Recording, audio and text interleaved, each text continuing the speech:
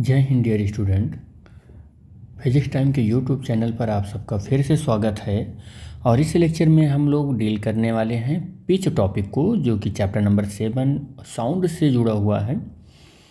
हमने साउंड की प्रॉपर्टी पढ़ी थी। साउंड की क्या प्रॉपर्टी पढ़ी थी, वो हम आपको बता देते हैं। यानी कि करेक्टरिस्टिक ऑफ़ साउंड हमने पढ़ा था कि लाउडनेस है करेक्टरिस्टिक ऑफ़ साउंड फिर हमने पढ़ा था कि पिच है करेक्टरिस्टिक ऑफ़ साउंड और फिर हमने पढ़ा था कि बेब फॉर्म या क्वालिटी है। बेब फॉर्म या क्वालिटी है, ठीक है? तो लाउडनेस तो हमने कर लिया।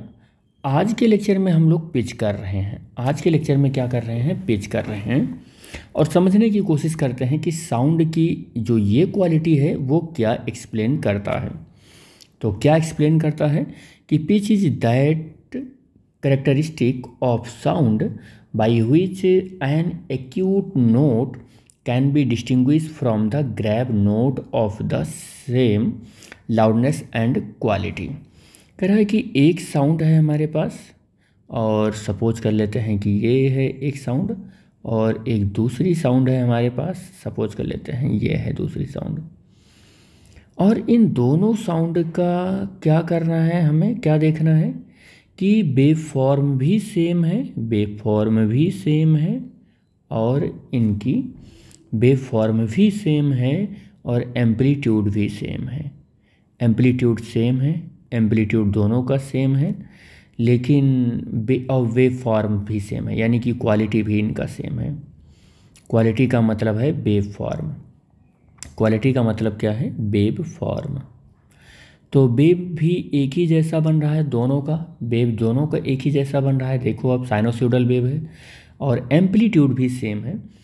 फिर हम देखते हैं कि इनकी फ्रिक्वेंसी में डिफरेंट आ रहा है। देखो इनकी फ्रिक्वेंसी थोड़ी सी डिफरेंट हो रही है। इसकी यहाँ पर कट हो रही है, इसकी यहाँ पर कट हो रही है। यह मैं बहुत ज़्यादा ऑड दिखाता तो इनकी फ्रिक्वेंसी और भी ऑड दिखा सकता था। कुछ इस तरीके से, कुछ इस तरीके से, जैसे ये। तो मैं ये कह सकता था कि ये यहाँ आ रहा है और ये इसकी फ्रिक्वेंसी यहाँ आ रही है और ये यहाँ पर आ रहा है। मतलब इसका एक रोटेशन यहाँ पर आके कंप्लीट हो रहा है और इसका यहीं पर कंप्लीट हो रहा है और इसका यहाँ कंप्लीट हो जा रहा है। तो ये है इसकी फ्रिक्वेंसी तो हम ये कहना चाह रहे हैं कि कोई अगर हमारे पास ग्रैब साउंड हो, या ग्रैब साउंड हो ग्रैब साउंड हो ग्रैब साउंड को हम लोग यहाँ पर ग्रैप साउंड को एक और नाम से भी जानते हैं, जिसको हम लोग फ्लैट साउंड बोलते हैं। फ्लैट साउंड हो, ठीक है? और या हम नोट कहेंगे इसको। फ्लैट साउंड या या नोट बोलेंगे। हम आपको ये भी बताएँगे कि नोट क्या होता है। अभी आगे बताएँगे नोट क्या होता है। तो हमारे पास एक साउंड ग्रैव है, और एक साउंड हमारे पास क्या है? दूसरी साउंड हमारे पास क्या है? हमारे पास दूसरी साउंड जो है वो सीरील है। क्या है? श्रील साउंड है या सीरील नोट है, ठीक है? श्रील नोट है या या हम कह सकते हैं कि एक्यूट नोट है एक्यूट नोट है, ठीक है? एक्यूट नोट है। तो इन दोनों में जो डिफरेंस होगा, वो डिफरेंस कौन बताएगा? वो इन दोनों में डिस्टिंग्विशबिलिटी या दोनों में विभिन्नता, दोनों का अलग अलग साउंड है, ये कौन बताता है? ये बताता है पिच कौन बताता है? पिच बताता है या हम कह सकते हैं कि हम पिच को जिस टर्म में मेजर करते हैं, यानी कि पिच सेम फ्रीक्वेंसी के तो नहीं है, लेकिन हम ऐसा कह सकते हैं कि पिच को फ्रीक्वेंसी से एसोसिएट करते हैं तो ये कौन बताएगा? फ्रीक्वेंसी या पिच बताएगा, ठीक है? तो मैंने डेफिनेशन लिख दिया है कि pitch is that characteristic of sound sound की वह करेक्टरिस्टिक है पिच जो किसी एक्यूट नोट और और क्या है ग्रैब नोट के बीच में क्या बताएगा डिस्टिंग्विश करेगा, उसमें डिफरेंस बताएगा, विभेद करेगा, उनमें दोनों में क्या करेगा, विभेद करेगा या डिफरेंस बताएगा कि ये दोनों साउंड क्या हैं डिफरेंट हैं, ठीक है? दोनों अलग अलग साउंड हैं ये। अब एक चीज़ आपको बता दें यहाँ नोट क्या है? नोट बड़ी ही इम्पोर्टेंट चीज़ है। नोट समझो क्या है। नोट क्या है? इन म्यूज़िक म्यूज़िक में कह रहा है कि note is a sound made by the mixing multiple frequency जैसे कोई म्यूज़िक में कोई साउंड निकलता है तो सा, रे, गा, मा, ऐसे निकलता है। सा, रे, गा, मा, पा, धा, नी। कितने स्वर हो गए सर? तो इनके मिक्सचर निकलते हैं। डिफरेंट डिफरेंट फ्रीक्वेंसी के ये वर्ड हैं। इनके क्या निकलते हैं? मिक्सचर्स निकलते हैं।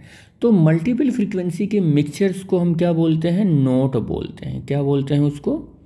नोट बोलते हैं। लेकिन अगर कहीं किसी म्यूजिकल इंस्ट्रूमेंट से केवल एक ही वर्ड निकल रहा हो, सा सा सा सा सा सा सा, एक ही वर्ड निकल रहा हो, केवल एक ही सिंगल फ्रीक्वेंसी का वर्ड निकल रहा हो तो हम इसे क्या बोलेंगे? नोट, इसको क्या बोलेंगे? इसको टोन बोलेंगे। इसको क्या बोलेंगे? टोन बोलेंगे। याद रखना कि नोट और टोन हमने अभी आपको शुरुआत में ही बताया था कि हम आपको नोट भी बताएँगे और टोन भी बताएँगे कि टोन किसको बोलते हैं और नोट किसको बोलते हैं। The mult mixture of the multiple frequency is called note and the single frequency is called tone जैसे एग्ज़ाम्पल के तौर पर मैं आपको कहूँ कि for example music is a note music क्या है? नोट है। लेकिन कोई पर्सन अगर बोल रहा है तो उसका क्या है? वो टोन है। अब कोई पर्सन बोलेगा तो क्या वो डिफरेंट डिफरेंट फ्रीक्वेंसी में बात करेगा? आज अमिताभ बच्चन की आवाज़ में बात कर रहा है। कल संजय दत्त बन जाएगा। अगले दिन, सलमान खान और अगले दिन शाहरुख खान बन जाएगा। तो अलग अलग फ्रीक्वेंसी में वो बात कर भी लेगा तो कितनी देर कर लेगा? क्या लाइफ टाइम बात करेगा? तो ज़्यादा से ज़्यादा एक मिनट, दो मिनट बात करेगा। लेकिन उसकी साधारण बोलचाल जो जीवन में है ना, वो अपने नेचुरल फ्रीक्वेंसी पर ही करेगा। तो एक पर्सन की जो वॉइस होती है, वो टोन होती है। लेकिन किसी म्यूजिकल इंस्ट्रूमेंट का जो multiple combination of the multiple frequency होती है, वो नोट कहलाता है, ठीक है? तो याद रखना। अब मैं बहुत ही इम्पोर्टेंट बात आपको और एक बताऊँगा, जो क्या है कि जो पिच वर्ड है, या जो हम कह सकते हैं कि पिच या सीरियलनेस है ना ये खास कर म्यूजिकल साउंड के लिए कंसीडर किया जाता है। ये बात भी आप याद रखना, ठीक है?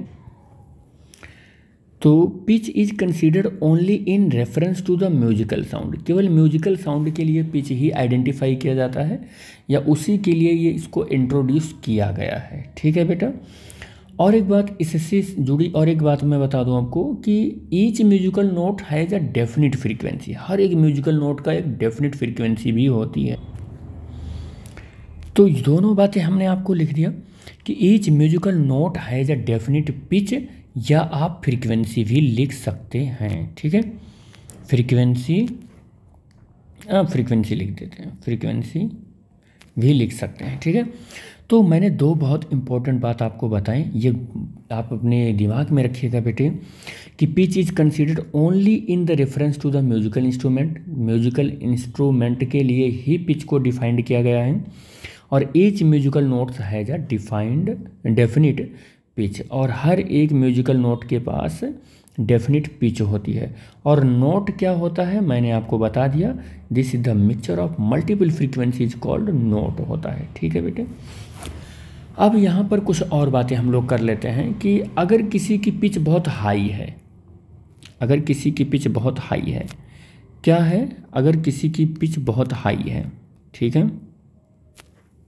मान लेते हैं कि if pitch is high if the pitch is high, pitch is high, मान लेते हैं कि पिच क्या है? हाई है। अगर पिच हाई है तो इसका ये मतलब है कि साउंड हमारा कैसा है? साउंड हमारा सीरील है। और अगर साउंड हमारा सीरील है तो इसका मतलब वहाँ से जो आवाज़ आएगी ना, वो कैसे आएगी? एक्यूट नोट आएँगे मतलब बहुत तीव्र तीव्र साउंड आएगी वहाँ से, ठीक है? एक्यूट नोट आएँगे सीरियल का मतलब ये हो गया, ठीक है? और अगर मेरा कहीं पर, if, the pitch is low if the pitch is low अगर पिच मेरा लो है, कहीं कोई आवाज़ आ रही है और पिच वो लो है तो साउंड इज़ फ्लैट होगा। फिर साउंड क्या होगा वहाँ पर? फ्लैट होगा। साउंड इज़ फ्लैट अब अगर फ्लैट है तो इसका मतलब क्या हुआ कि साउंड ग्रैब है। साउंड ग्रेव है। अब एक चीज़ और बता दूँ यहीं पर कि अगर पिच हाई है तो इसका मतलब यहाँ की फ्रिक्वेंसी ऑफ़ साउंड क्या होगी? फ्रिक्वेंसी ऑफ़ साउंड क्या होगी? तो frequency of sound frequency of sound जो होगी, वो क्या होगी? वो हाई होगी, वो हाई होगी। और अगर मेरा कहीं पर भी जो पिच लो है, यानी कि साउंड फ्लैट है, उसकी फ्रीक्वेंसी क्या होगी? उसकी फ्रीक्वेंसी क्या होगी? इसकी फ्रीक्वेंसी क्या होगी? फ्रीक्वेंसी ऑफ़ साउंड क्या होगी? बता दो आप। फ्रीक्वेंसी ऑफ़ साउंड यहाँ पर क्या होगी? लो होगी। फ्रीक्वेंसी ऑफ़ साउंड क्या होगी? लो होगी। तो ये भी आप बात याद रखना, ठीक है बेटा? अब मैं आपको एक चीज़ और बता दूँ। और ये भी बहुत इम्पोर्टेंट है और आपकी सोसाइटी में बहुत ही ज़्यादा फ़ेमस वर्ड है जो मैं बताने चल रहा हूँ। और अक्सर आप कभी न कभी इससे डील हो जाती है, कहीं ना कहीं आपको सुनने में मिल जाता है। तो in the case of the tape recorder अगर मैं बात करूँ in the case of tape recorder तो टेप रिकॉर्डर जब कभी भी बज रहा हो कहीं पर डीजे वगैरह कुछ भी बज रहा हो तो आपने एक चीज़ नोटिस किया हुआ हो, होगा आपने नोटिस किया होगा। क्या नोटिस किया होगा?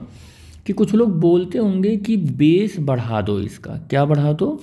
बेस बढ़ा दो इसका।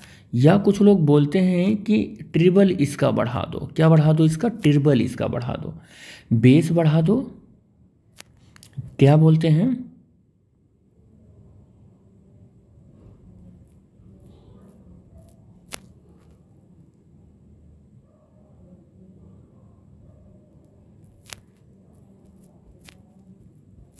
या तो बोलते हैं बेस बढ़ा दो, या तो क्या बोलते हैं कि टिरबल बढ़ा दो, ठीक है?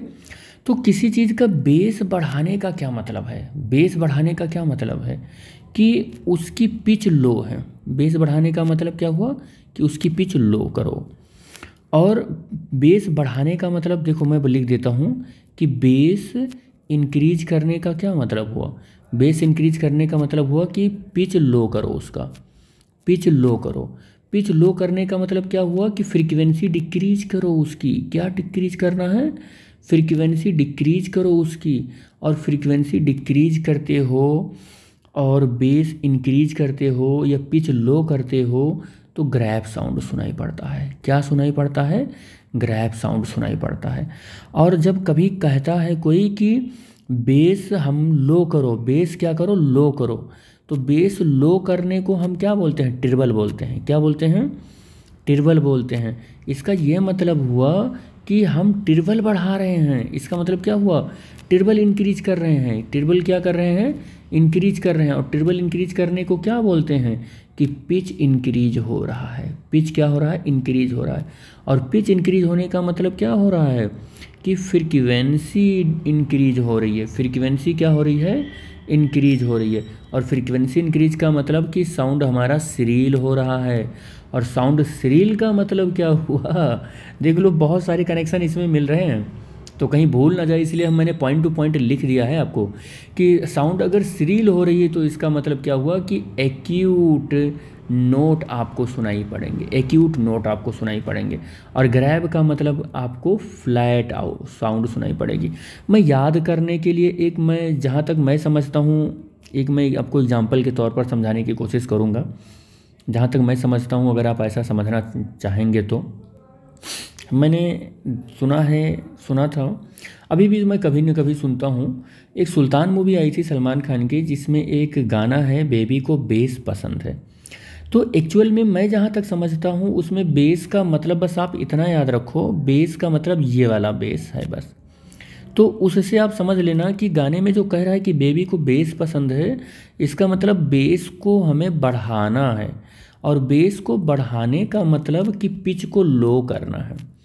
पिच को क्या करना है? लो करना है। मतलब वो जो हीरोइन है वहाँ, उसको लो पिच पसंद है। उसको क्या पसंद है? लो पिच पसंद है। और लो पिच का मतलब उसको डिक्रीज इन फ्रीक्वेंसी पसंद है, उसे ग्रैप साउंड पसंद है। ग्रैप साउंड किसकी निकलती है? ग्रैप साउंड मर्दों की निकलती है मेल लोगों की निकलती है, पुरुष की निकलती है। तो उसको पुरुषों की वो ग्रैब साउंड पसंद है। समझ में आ रही होगी मेरे आई थिंक मैं ये सारा एग्जांपल सिर्फ़ समझाने के लिए आपको ले रहा हूँ। अदरवाइज़ मेरा यहाँ किसी मूवी का प्रमोशन या कुछ ऐसा करने का एम या कह सकते हैं एक्सटेंशन नहीं है। मैं सिर्फ़ समझाना चाह रहा हूँ कि ऐसे गाने से या जो कुछ भी आप सुनते हो तो सुनने से थोड़ा बहुत आप फिज़िक्स का आप अप्रोच ले सकते हो। ठीक है बेटे? तो इसके आगे मैं देखता हूँ तो क्या है? तो बेस बढ़ाने का मतलब हो गया या बेस इंक्रीज करने का मतलब लो पिच करो और लो पिच का मतलब ग्रैप साउंड करो आप। क्या करो? ग्रैप साउंड करो आप। साउंड ग्रैब होना चाहिए। तो ये सारी चीज़ें मैंने आपको समझा दी कि क्या है। तो समझाने, ये समझाने के बाद हम लोग नेक्स्ट बात कर लेते हैं कि हम यहाँ पर, ये थंब है, ठीक है? नेक्स्ट बात कर लेते हैं। तो अगर मैं यहाँ पर इतनी बातें, बातों को समझाने में मतलब सक्सेसफुल रहा हूँ तो आगे भी आप मेरी बात को पूरा का पूरा समझेंगे कि मैं क्या कहना चाह रहा हूँ।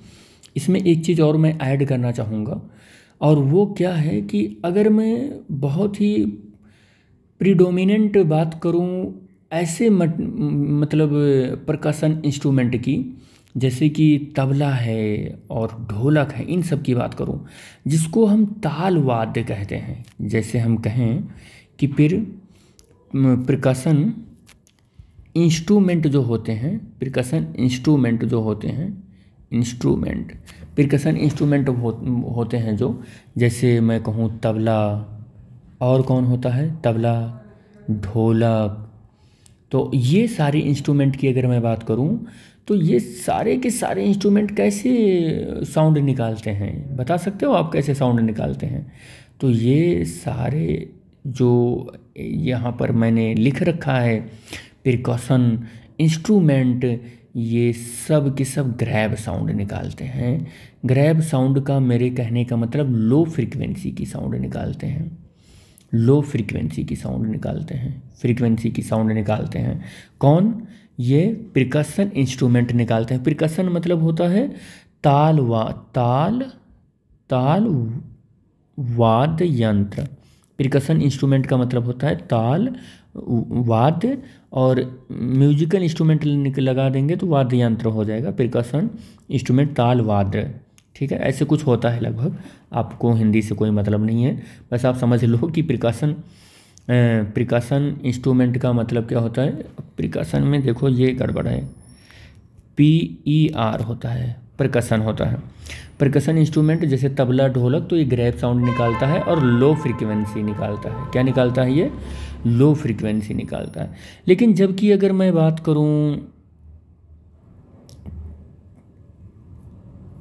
अगर मैं बात करूँ, किसकी बात करूँ, कि ये जो हमारे म्यूजिकल इंस्ट्रूमेंट हैं, लेकिन वो कैसे हैं, जिसमें वायर लगे हुए होते हैं। क्या लगे हुए होते हैं? वायर लगे हुए होते हैं। या मैं बात करूँ कि जो जिसमें, वो एयर ब्लो करते हैं हम लोग, जैसे मैं कहूँ कि फ्लूट मैं क्या कहूँ फ्लूट या मैं कहूँ कि घुंघरू घुंघरू घुंघरू, या इसी को हम एंकल बेल भी बोलते हैं। इसी को क्या बोलते हैं? एंकल बेल भी बोलते हैं। एंकल बेल भी बोलते हैं। ठीक है? तो ऐसे इंस्ट्रूमेंट की अगर मैं बात करूँ तो ये इंस्ट्रूमेंट हमारा जो है, ये ट्रिबल साउंड निकालता है। ट्रिबल साउंड का मतलब हाई पिच का साउंड निकालता है। हाई पिच का साउंड निकालता है। हाई पिच मतलब कि इनकी जो फ्रीक्वेंसी होती है, वो हाई होती है। फ्रीक्वेंसी जो होती है, वो हाई होती है। फ्रीक्वेंसी क्या होती है? हाई होती है। ठीक है? तो ये सारी बातें हो गई। तो अब पिच को आपने क्या समझा? ऊपर इतने एक्सप्लेनेशन देने के बाद। तो pitch of a note depend on its frequency pitch इतने समझने के बाद क्या कंक्लूजन निकला? कि pitch of a note depends on its frequency pitch किसके ऊपर डिपेंड करती है? फ्रीक्वेंसी के ऊपर डिपेंड करता है। टू नोट्स, अब नोट्स क्या होता है? मैंने आपको पहले भी बता दिया नोट्स क्या होता है। नोट क्या होता है? It is the mixture of the multiple frequency multiple frequency के मिक्सचर को हम लोग नोट बोलते हैं। तो कह रहा है two note sounded sound on the same free same instrument कह रहा है, एक ही इंस्ट्रूमेंट से हमारे पास दो साउंड निकल रही है। दो साउंड निकल रही, एक ही से दो साउंड निकल रही है। ठीक है sound sounded on the same instrument with same amplitude जिसका एम्पलीट्यूड भी सेम है, जिसका क्या सेम है? एम्पलीट्यूड भी सेम है। और विल डिफ़र इन पिच लेकिन हम उनको कैसे डिफ़र कर सकते हैं? पिच से डिफ़र कर सकते हैं। पिच का मतलब फ्रीक्वेंसी से उनको डिफ़र कर सकते हैं, या वाइब्रेशन से से डिफ़र कर सकते हैं। जैसे मान लो कि ये हम कहें कि एक सेकंड में एक वाइब्रेशन किया, एक वाइब्रेशन किया, ये एक सेकंड में एक वाइब्रेशन किया तो ये वाली जो साउंड है वो एक सेकेंड में आधा वाइब्रेशन करेगी हाफ़ वाइब्रेशन करेगी। तो क्या है? इसकी फ्रीक्वेंसी डिफ़र है, इसकी फ्रीक्वेंसी और डिफ़र है। मतलब दोनों की फ्रीक्वेंसी क्या है? डिफ़र कर रही हैं। दोनों की फ्रीक्वेंसी डिफ़र कर रही हैं। तो हमने ऊपर के इस लेक्चर में जो एग्जाम्पल्स हैं, ये सब एग्जाम्पल्स जो कुछ भी हमने दिया, इससे यही कंक्लूजन निकाला। क्या कंक्लूजन निकाला? कि pitch of the note depends on its frequency और if we have the two notes of the sound on the same instrument with the same amplitude we differ in the pitch when their vibration और in the different frequency इतना हमने conclusion निकाला। अब इस conclusion को थोड़ा सा हम और इलोवेरेट कर रहे हैं कि किस तरीके से हम इसको समझ सकते हैं। चलो हम ट्रेस करते हैं। हम एक ही म्यूजिकल इंस्ट्रूमेंट से निकले हुए इन दोनों साउंड को ट्रेस करते हैं। और कैसे ट्रेस करेंगे? यू नो वेरी वेल इससे पहले हमने लेक्चर में बता दिया है कि हम कैसे ट्रेस कर रहे हैं। तो हम ट्रेस कर रहे हैं क्या? ट्रेसेस ऑफ़ टू बेब किससे ट्रेस करेंगे? आपको पता होना चाहिए सी आर ओ की हेल्प से। कैथोड रे ऑक्सीलोस्कोप की हेल्प से हम दो साउंड को बजाएँगे और कैथोड रे ऑक्सीलोस्कोप के माइक के पास लेकर जाएँगे। वहाँ से साउंड एंटर करेगा और फिर वाई इनपुट से जुड़ा हुआ माइक का जितना भी साउंड सी आर ओ में एंटर करेगा, वो स्क्रीन पर उसका एक वेब पैटर्न बना के दे देगा। तो सपोज़ कर लेते हैं कि एक वेब पैटर्न हमारा बन गया है और कुछ ऐसे बना है, कुछ ऐसे बना है। और इस साउंड का नाम है सपोज़ कर लेते हैं ए इस साउंड का नाम है ए और जिसकी फ्रीक्वेंसी है दो सौ छप्पन हर्ट्स दो सौ छप्पन हर्ट्स है, ठीक है? और एक दूसरी हमारी है, वो साउंड है और इस दूसरी साउंड की जो एम्पलीट्यूड है, वो पहले साउंड के एम्पलीट्यूड से एकदम सेम है। पहले साउंड के एम्पलीट्यूड से एकदम सेम है। बट इसकी जो फ्रीक्वेंसी है, इसकी जो फ्रीक्वेंसी है, थोड़ा सा मैं बना लेता हूँ ऐसे। अरे, गड़बड़ हो रहा है बार बार तो हमारे पास ये जो बेब है, ये बी बेब है, और इसकी जो फ्रीक्वेंसी है, हमने कितना लिया है? 512 सौ हर्ट्स लिया है। अब ऐसे थोड़े नहीं हो जाता है 512 हर्ट्स या दो हर्ट्स ऐसे नहीं होता है। तो मैं आपको इसकी डिटेल के लिए बता दूँ कि अपने पास एक ट्यूनिंग फॉर्क थी और एक रबर पैड था। एक रबर पैड था। इस रबर पैड पर इस ट्यूनिंग फॉर्क को हमने बहुत तेज़ी से, जेंटली स्ट्राइक किया। स्ट्राइक करने के बाद हम सियारो यानी ऑक्सीलोस्कोप के माइक के पास लेकर आए।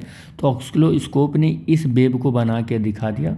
और जो ये ट्यूनिंग फॉर्क है, उसकी फ्रीक्वेंसी दो सौ छप्पन है। और दूसरी इस ट्यूनिंग फॉर्क का नाम था ए और दूसरी जो हमारे पास सेकंड ट्यूनिंग फॉर्क है, उसको सेम रबर पैड पर हमने बहुत जेंटली स्ट्राइक किया। स्ट्राइक करने के बाद हमने फिर से सीआरओ यानी ऑक्सीलोस्कोप के माइक के पास लेकर आए। फिर तो सीआरओ ने उस बेब को रीड्राइड किया और उसका एक बेब पैटर्न ये बना दिया। और ये जो हमारे पास बी वाला ट्यूनिंग फॉर्क है, इसकी फ्रीक्वेंसी हमने 512 हर्ट्स लिया है। कितना लिया है? 512 हर्ट्स लिया है। तो आप देख रहे हैं कि कैथोड रे ऑक्सीलोस्कोप ने एम्पलीट्यूड सेम रख बनाया है। एम्पलीट्यूड दोनों का सेम है। और बेब फॉर्म भी इनका सेम है, बेब फॉर्म भी इनका सेम है, बेब फॉर्म भी इनका सेम है दोनों का। लेकिन आप देख रहे हैं कि इसकी जो फ्रीक्वेंसी है, टी टाइम में एक बार हुई, मान लो ऐसे तो इसकी दो हुई है। वैसे मैं ये सिर्फ़ समझाने के लिए बोल रहा हूँ, वैसे इसकी तो फ्रीक्वेंसी एक सेकेंड में दो सौ छप्पन बार हो गई है और इसकी एक सेकेंड में 512 बार हो गई है। बस मैं सिर्फ़ इसको, इस दो सौ छप्पन को एक मान रहा हूँ और 512 को दो सौ छप्पन इंटू टू तो मैं ये देख रहा हूँ कि 512 हो रहा है तो इसको मैं क्या मान रहा हूँ? वन तो ये वन इंटू टू होकर टू मिल रहा है, यानी कि दो ऑक्सीलेशन यहाँ पर मिल रहा है। मैं ऐसा सिर्फ़ आपको समझाने के लिए बना रखा हूँ, बस ऐसा और कुछ नहीं है कि आप ऐसे बना लो रफली, ऐसा कुछ नहीं होता, बस मैं समझा रहा, समझाना चाह रहा हूँ आपको। तो आपने क्या देखा यहाँ पर इन दोनों ए एक ट्यूनिंग फॉर्क की बेब पैटर्न से और बी ट्यूनिंग फॉर्क के बेब पैटर्न से? आपको एक चीज़ बहुत अच्छे से समझ में आया होगा कि इसकी फ्रीक्वेंसी हाई है। इसकी फ्रीक्वेंसी हाई है, इसकी फ्रीक्वेंसी क्या है? हाई है। और अगर इसकी फ्रीक्वेंसी हाई है तो इसकी फ्रीक्वेंसी क्या है? इसकी फ्रीक्वेंसी लो है। इसकी फ्रीक्वेंसी लो है। और जो लो है, उसका पिच भी लो है। उसका पिच भी लो है। और जो हाई है, उसका पिच क्या है? हाई है। पिच हाई है। इसका मतलब ये वाली साउंड कैसी होगी? ये सीरील होगी। और ये वाली साउंड कैसी होगी? ये ग्रैब होगी। ये साउंड कैसी होगी? ये ग्रैब होगी। इन्हीं दोनों के कंपैरिजन में सीरील और ग्रैब होंगे। अगर किसी साउंड की कंपैरिजन में नहीं तो ये भी ये बात याद रखना आप। ठीक है बेटे? तो अगर इतनी बातें हो गई हैं तो इस ही हेडिंग में एक चीज़ मैं और बात कर लूँ। Example of change in pitch की बात कर लेता हूँ। अगर कोई स्ट्रिंग इंस्ट्रूमेंट लेते हैं, इस एग्ज़ाम्पल में फ़र्स्ट एग्ज़ाम्पल ले रहा हूँ मैं। अगर कोई स्ट्रिंग इंस्ट्रूमेंट लेते हैं इंस्ट्रूमेंट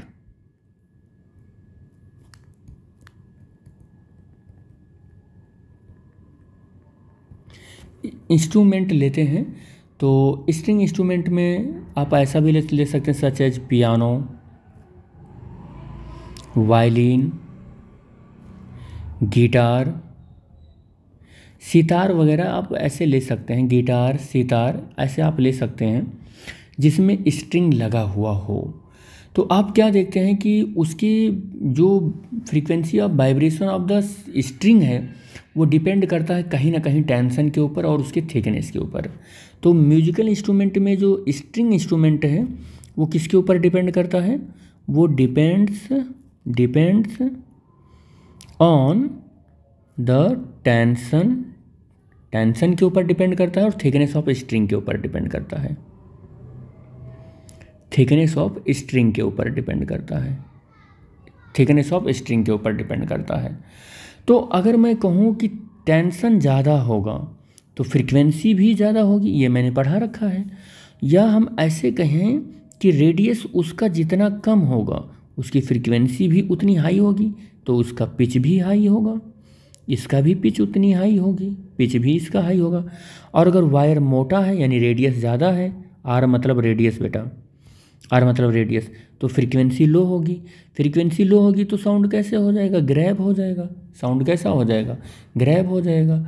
तो हम ऐसा हम ये समझ सकते हैं कि टेंशन ज़्यादा होगा, यानी कि वायर दो इंड के बीच में, ऐसे मान लो एक मेरे पास एक म्यूजिकल इंस्ट्रूमेंट है, ऐसे कुछ। ऐसे ये है एक म्यूजिकल इंस्ट्रूमेंट ये ऐसे। तो अगर ये दो एंड के बीच में ए और बी के बीच में ये वायर ये हमारा जो मेटेलिक वायर है, इसमें टेंशन ज़्यादा है तो इसकी फ्रीक्वेंसी ज़्यादा होगी। फ्रीक्वेंसी ज़्यादा है तो पिच इसकी ज़्यादा होगी और पिच ज़्यादा है तो फिर ये साउंड कैसी होगी? सीरील होगी। ये साउंड सीरील होगी, या हम कह सकते हैं कि एक्यूट नोट बनाएगा ये एक्यूट नोट बनाएगा। और अगर ये ये स्ट्रिंग लूज होगी, ये स्ट्रिंग लूज होगी तो फिर इसमें हम ग्रैप साउंड पाएँगे। और एक चीज़ मैं बता दूँ कि यहाँ पर जो म्यूजिकल इंस्ट्रूमेंट होते हैं ना, इसमें लेंथ पर भी डिपेंड करती है फ्रीक्वेंसी लेंथ अगर कम होगा लेंथ कम होगा तो फ्रीक्वेंसी ज़्यादा होगा। लेंथ ज़्यादा होगा तो फ्रीक्वेंसी कम होगा। तो ये भी याद रखना, ये वाली जो कंडीशन है, ये ग्रैप साउंड देगी। और ये वाली कंडीशन क्या है? वो सीरील साउंड देगी। क्या होगी? सीरील साउंड देगी। तो आप इससे भी निकाल सकते हैं कि सीरील है तो पिच हाई है पिच हाई है और ग्रैब है तो पिच लो है। यहाँ से भी आप कंडीशन आप निकाल सकते हैं कि म्यूजिकल इंस्ट्रूमेंट में टेंशन ज़्यादा क्यों होता है या टेंशन कम क्यों होता है तो क्या कंडीशंस हो सकते हैं? कम या ज़्यादा होने पर टेंशन कम या ज़्यादा होने पर क्या कंडीशंस हो सकते हैं? तो हमने आपको एक एग्जांपल दिया, दूसरा एग्जांपल भी आप लिख सकते हैं सेकंड एग्जांपल आप क्या लिख सकते हैं?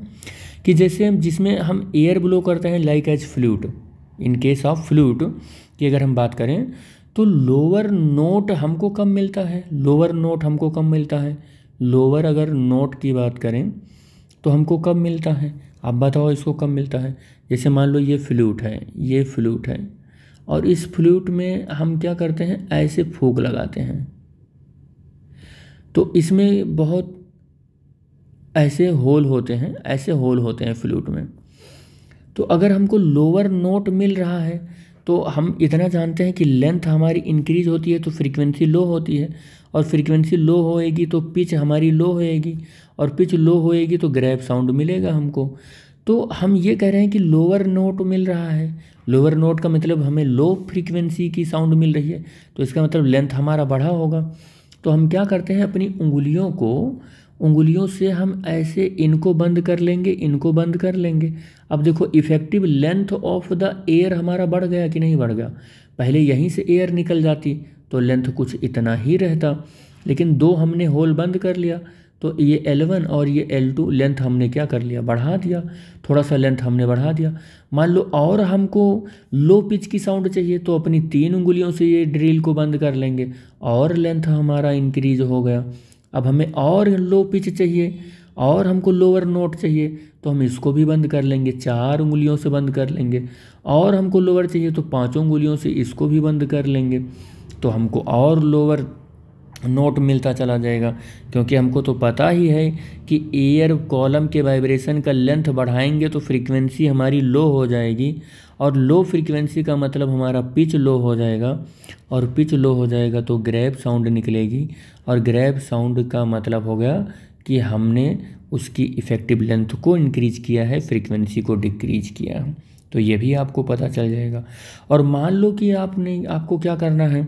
कि लेंथ को कम कर दिया तो पिच इंक्रीज हो जाएगी। जस्ट इसका उल्टा कर लेना है कि अब यहाँ की उंगली हटा लेनी है, यहाँ की भी उंगली हटा लेनी है, यहाँ की भी उंगली हटा लेनी है।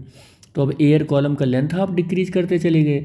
एयर कॉलम का लेंथ डिक्रीज करते चले गए तो लेंथ डिक्रीज हो रहा है तो फ्रीक्वेंसी इंक्रीज हो जाएगी और फ्रीक्वेंसी इंक्रीज होने पर पिच आपको हाई मिलेगा।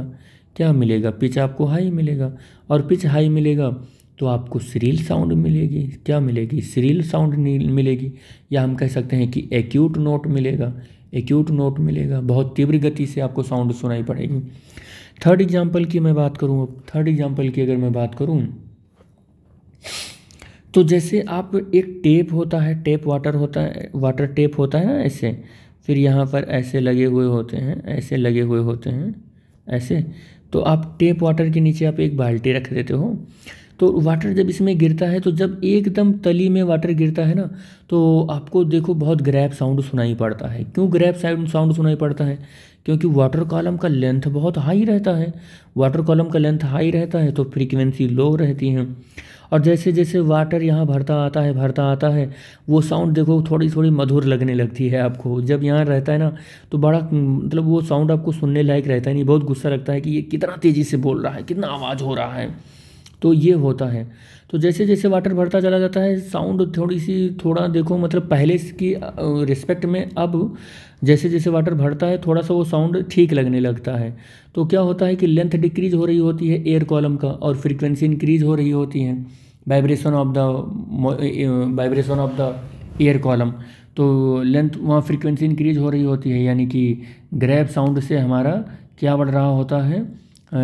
पिच बढ़ रहा होता है। पिच बढ़ रहा होता है। ग्रैप साउंड हमारा कम हो रहा होता है और सिरिलनेस हमारी बढ़ रही होती है, यानी कि पिच हमारा इंक्रीज हो रहा होता है वहाँ पर, ठीक है? ऐसे मैं आपको एक और एग्जांपल दे सकता हूँ, जो कि एग्जांपल नंबर फोर्थ है। क्या है?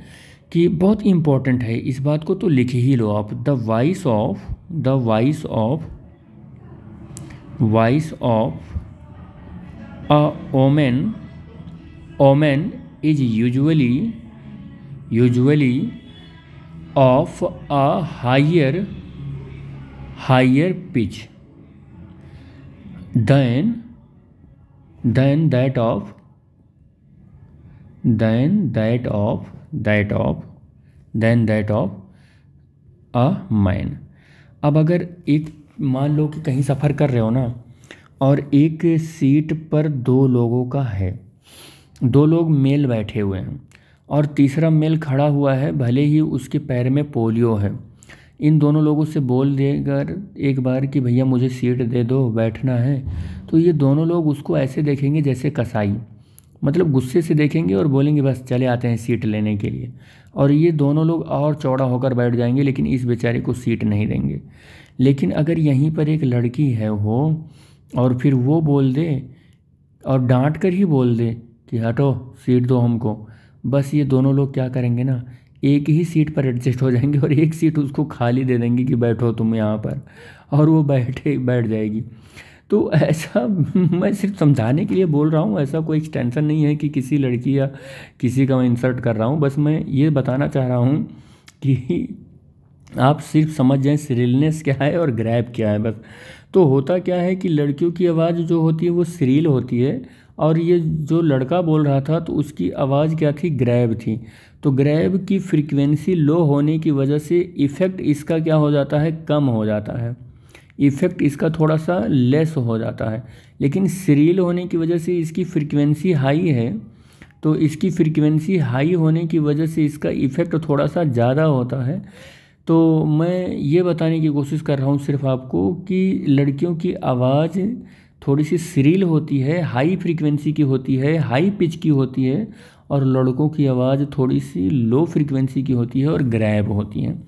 तो these are all information about the pitch that is the second necessary important characteristic of the sound हम लोग नेक्स्ट लेक्चर में मिलेंगे और बात करेंगे क्वालिटी बात करेंगे subjective nature of the pitch and objective nature of the frequency के ऊपर।